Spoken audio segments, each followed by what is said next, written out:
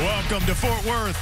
College football celebrating 150 years, and we got a heated rivalry that dates back 120 years as 12th ranked Baylor Bears take on the TCU Horned Frogs. The middle finger not as important as the index finger for throwing the football. Olonilua, first carry, right up the middle, and he's loose. Alana Lua in Baylor territory.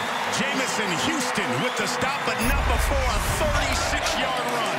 And Olonilua, Alana Lua is a huge back, but just got right up the middle of that three-man front for Baylor. This is from 47 yards out. And he is money. You're going to see some new blitzes that you have not seen from TCU on this first couple of drives. We know he's a defensive master. Brewer, ball fake, going deep. He's Carlos Fleeks, underthrew and picked off. That's LaKendrick Van Zandt. And we got a flag on the play. They go from the pistol. Duggan rolls, looking Reagor's way, throws, and picked off. Grayland Arnold stepped right in front and made the pick for Baylor. Keep in mind, he's already returned one to the house, and we got a fake. First down and more by Baylor. Love it. Kept it 17-yard pickup for Baylor. What a call. Yeah, you go with that quick huddle break right there, and this is going to be a direct snap. And TCU was not expecting that one at all. Saw everybody dropping out of there. There's been this chess match with all the changing offensive, defensive fronts. Get back to it. Duggan, he's got a man. Wells open, caught. Pro Wells makes the catch. Song with the kick. 6-0 our score. Goal bounce. Kick this one. Oh, it's loose. It, wow. TCU comes with it, comes up with it. Baylor's blocked nine kicks in the last 13 games. 14 since the start of the 2017 season. That's the second most in the country. And Song drills another one. 9 nothing now.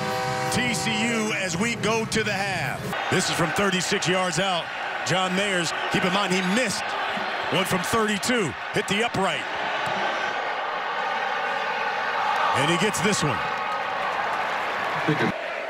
At the linebacker spot. Baylor with five tackles for loss so far. Duggan to the outside. Oh, what a smack! Jameson Houston. Yeah, says, hey, you're going to catch this thing, but you're also going to pay for it. Nice, clean hit right there. Just physical football. He's a big back. Ran with good pad level there. Duggan under pressure by Roy. Pick! Terrel Bernard. Inside the 10. Big play, Baylor. One of two. This is from 24. Gets that one to go. Now they bring out John Mayer. So they put Mayer out here from 51. Got it.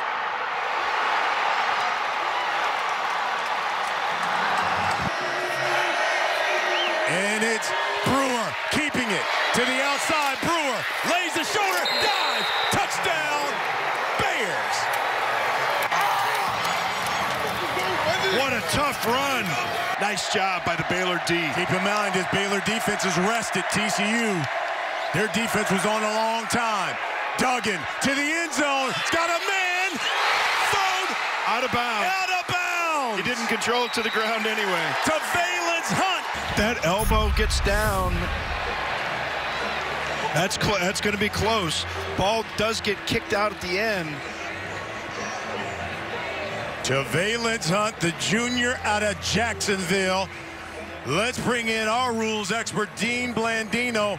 Okay, Dino, they're going to take a look at this. After reviewing the play, the receiver controls the ball while airborne.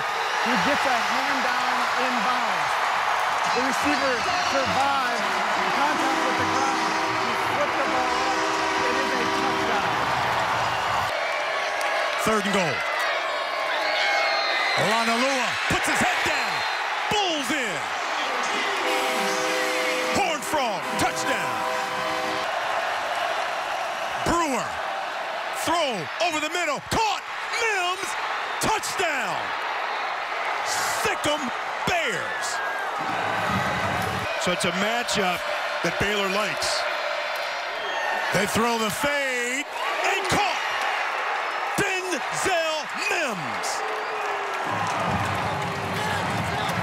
to go for two. Only 5 foot 11, 160 pounds.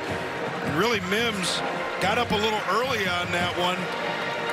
Jumped a little early, but still able to haul that pass in. Low snap, Duggan controls it, steps up, nearly sacked, keeps it. Inside the 10, breaks the tackle, tiptoes, dives for the end zone. Oh, he's teach me how to Duggan. I think he stepped out on that one. We'll have to take a look. It's going to be close.